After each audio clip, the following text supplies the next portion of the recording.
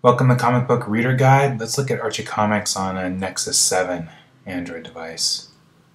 Uh, let's go ahead and launch the app.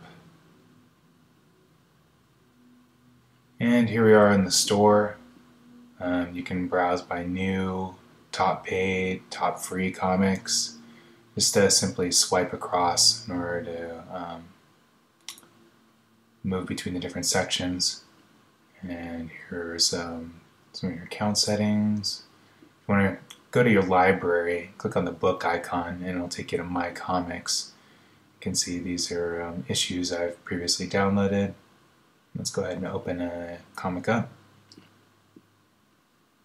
And if you're go ahead and reading your comic, simply swipe side to side. You want to zoom in, you can double tap.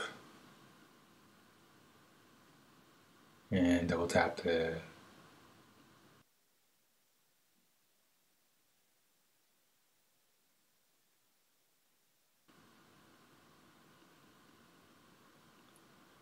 Navigation options, you can go ahead and move the slider uh, or um, specify a particular page number to return to.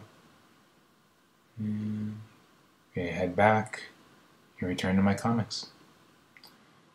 So what do you think? Have you used the app or if you have a request for us to review a different app, let us know in the comments. And if you enjoyed this video, uh, please subscribe and be sure to check out comicbookreaderguide.com.